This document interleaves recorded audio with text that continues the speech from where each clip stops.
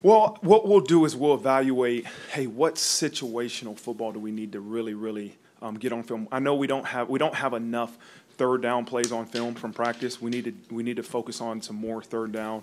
Um, but we'll get, I'll get with the coordinators and we'll really sit down and say, okay, hey, what situations do you need on your side of the ball, offensively and defensively, into the game situations that we need to make sure we get on film so that we can teach and coach from it. Um, you know, we're gonna have to. I wasn't pleased with the way we kicked today, we missed a couple field goals. Um, so I want to put those guys in a little bit more competitive situations. Um, but I mean, other than that, we'll evaluate as a staff, and again, we'll end with the spring game. Yeah, Chris Tyree is really, really good. Um, he did a good job last year. He'll be the guy. I think we'll, we'll obviously try to make sure he's the guy. Um, but Brandon Joseph has done it too. He's obviously done some punt returning. Uh, so I know he, uh, Brandon Joseph and Matt Salerno both were back there uh, returning punts today. Yeah, I, I look at the DB position, right? The the safety position. That's a deep group, right? You talk about Houston and DJ and Brandon Joseph and and uh, Ramon and Xavier. That group will have a one A and one B for sure. And um, it's something going into the spring you probably didn't know. The D line is extremely deep, you know, and, and that's with Jason not practicing, you know, but with Foskey and Justin and um, Howard Cross has had an unbelievable spring.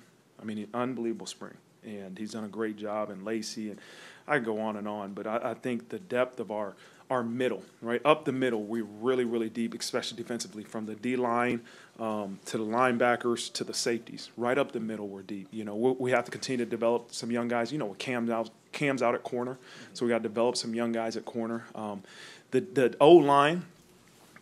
I don't. I wouldn't say we're one A's and one B's yet, but I'm really, really pleased with some of those one A's. Um, and so, again, the running back position would never be. I think up the middle, we're really, really strong, you know, and, and we have to continue to develop on the edges. Really, really pleased today. Um, the only way to win the jersey scrimmage is takeaways. Only way. And so, um, uh, up until the second to last series, the offense didn't turn the ball over one time, you know, and then we end up having a pick um, late in the scrimmage. But by that time, you know, the offense was way ahead. Um, so I was really, really pleased with the work um, that they did today of taking care of the ball, making good decisions. It's a great competition, especially between uh, Tyler and Drew. It is, and um, it's one that probably after this Jersey scrimmage, I'll sit down with Tommy and kind of say, "Hey, give me your grades. You know, let's talk about um, where you see these two, and and uh, you know, it, it's still going to be an evolving process in terms of until you name a starter, but." I wouldn't hesitate to put either two in the game because they're both really, really good football players and they can help us win. And so um, I look forward to sitting down with Coach Rees and kind of really just looking at it from the quarterback's point of view from, hey, did they make the right decision and then did they execute? You know, and so um, it, it's been really good.